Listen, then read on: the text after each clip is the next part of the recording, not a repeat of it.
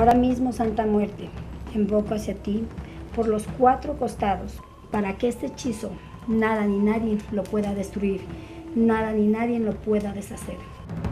Entre el bien y el mal hay una línea muy delgada. Hay quienes tratan de conseguir beneficios de la forma que sea, sin importar si cruzan o no ese límite.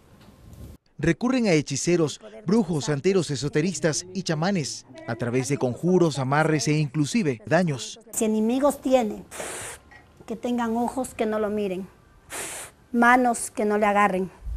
En ese mundo la fe se podría emplear para Dios y hasta para el mismo demonio. Bendicen y maldicen. Yo le puedo decir, eh, niña, en este momento tú ayúdame a tener este amarre, a tener esta persona.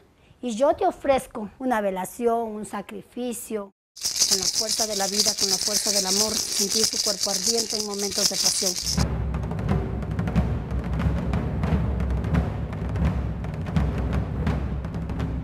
Del otro lado de la oscuridad está la luz. Los esoteristas, que dicen que no obran con el mal, leen cartas, refieren tener dones evidentes. Adriana es una de ellas. Todo lo que nosotros consideramos magia blanca es lo que responde a un acuerdo o un pedido voluntario.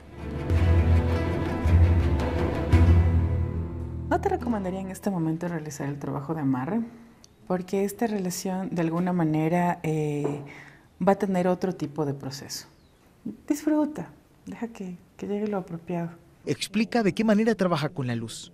Hay veces en que personas piden amarres de amor para sí mismos. ¿no? Entonces, están trabajando su relación personal y dicen, Adriana, necesito que me amarres para poder tener la objetividad necesaria para alcanzar una buena pareja. Esos son amarres de luz. Asegura que puede deshacerse de la magia negra. Una de las prácticas que más tengo aquí es romper amarres. ¿Qué significa eso? Um, muchas veces se llega a evidenciar lo que conocemos como le brujear.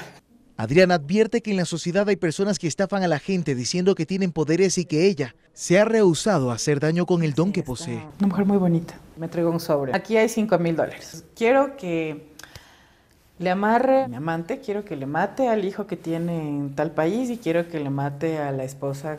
Quienes se han beneficiado de la magia blanca dicen haber solucionado problemas en el amor y hasta en el trabajo. Es el caso de Gema y Arturo. El motivo de mi consulta fue mejorar mi relación de pareja con mi novia. Después se fueron afinando ciertos elementales de mi vida. Yo le, le, le hice un amarre de luz a mi jefe, tenía el carácter bastante fuerte. Y sí se fue, fue calmando y se fue controlando la situación.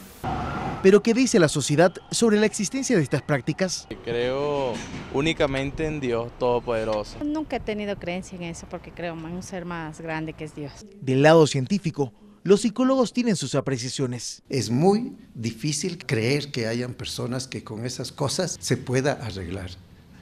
Puede ser que haya una coincidencia. En el bien y el mal, favor se paga con favor y todo lo que se hace se regresa. Alcibia de Sonofretes de Televisión.